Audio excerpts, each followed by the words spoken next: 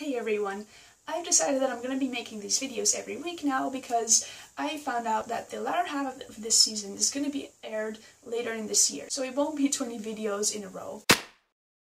This is going to be all spoilers, so if you haven't watched the episode yet, please go do that. Again, I'm going to be summarizing this episode and then going into some specifics and my thoughts on it. There are basically three major storylines in this episode. One is in England, where the nobles of Mercia have revolted against Queen Kwenthrith, and she is being held hostage. King Ecbert sends his son Aethelwulf and an army to retrieve her and her son Magnus. Meanwhile, Ecbert helps Judith. She wants to become a painter and study the sacred text, but as a woman she's officially not allowed to. Ecbert finds a Frankish monk called Prudentius, and initially he is against teaching her, but under pressure of Ecbert the bishop orders him to do it. In Francia, Rollo advises Count Odo on how to beat the Vikings on water. Count Odo is not very happy with the idea that all this glory will again go to the Emperor. He thinks the Emperor is pretty weak, and he confesses this to Therese. Therese is a sort of spy, and she tries to get information out of him that she in, turn relays to her husband, who is also a noble. In Kattegat, Floki escapes with the help of Helga. Ragnar knows about this, but he doesn't blame her. He understands her peril, and he gives her some food to take care of herself and her daughter Angrboda through this winter. Ubbe leads the searching parties, and they find Floki again. They bring him to Ragnar, and Ragnar keeps giving him chances, but Floki just throws them away. Aslaug defends Floki's deeds, but Ragnar hits her, and he's just really not happy that she doesn't understand his motives. Finally, we see Floki tied up in a cave, much like Loki's punishment in the sagas, and we see Helga digging a grave. It turns out to be for Angrboda. Ragnar finds her, and they bury her together. So this episode had it all. It had excitement with the battle and the searching for Floki. It had happiness when Kwenthrith was saved and Judith's wishes were granted.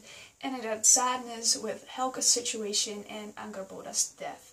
I loved it once again. Aside from the major storylines, I really liked all the little things that we got in this episode that made the story much more real and bigger, um, such as Prudentius showing how the Frankish tasted wine. Another thing that stood out to me was the flanking style of attack that Aethelwulf and his army used. Uh, we saw this back in season 2 when King uh, Ecbert and Aelle were working together and fought against the Vikings and won. I just really love how they have now really adopted this um, Roman style of attack. Kwenthrith, by the way, really knows how to hold her own, and I really like her as a character. She's so fierce. In terms of historical accuracy, I'm not very knowledgeable about this, but I did have some a few questions. Magnus, um, son of Kwenthrith, we don't really know much about him yet. I've tried to look up if he was like inspired by anyone, and there are some kings of Norway that are called Magnus, but I don't think we know enough yet in order to say if he is really based on one of them or if he's based on any, anyone else. Also, in Mercia's army there were some women. I think this was done under the influence of Kwenthrith, who obviously really um, holds the Vikings to a high standard. But in terms of historical accuracy, I'm not really sure if this was very realistic. For comic relief, again, we have Rollo, who basically acted like a giant child this entire episode. Not only when he get, gets his hair cut, he just acts like a big baby there. But also he explains his strategies for beating the Vikings to Count Odo with these toys and it's it looks like play therapy. And he includes even the sound effects of the little boats, so that was pretty funny. I did feel really bad though when Gisla came in and just laughed him in the face. And the last thing uh, of this episode that I wanted to talk about was Ragnar and Helga's relationship. I feel that Ragnar really gets along well with Helga. They both really understand Floki like no one else does.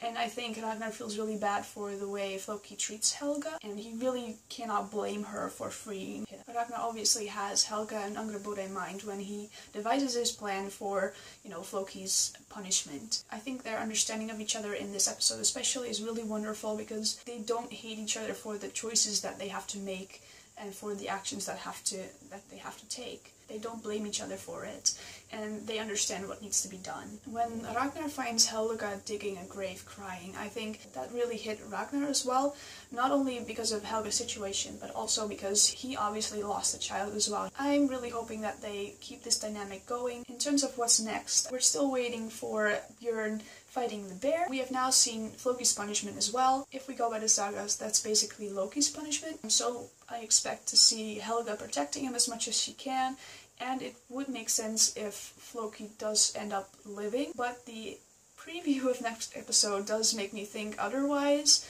so I'm not sure about that yet. Ecbert, Aelle, and Kwenthrith should be putting forces together in order to regain the throne of Mercia, while Judith studies the sacred text together with Prudentius. Now, Prudentius is based on a real character. That character was also sort of going against the traditions of his time in terms of religion, so I'm thinking that's going to play a bigger role later in the in the season. Rollo seems to suggest that the fight for Paris will be somewhere in the next few episodes, at least in the first half of the season, um, but I'm expecting not until Bjorn gets back from his adventures. We haven't seen you do Lagertha or Kalf, so I'm assuming we'll see them next episode. That's all I got for now. I'd love to hear your input, so leave me a comment below.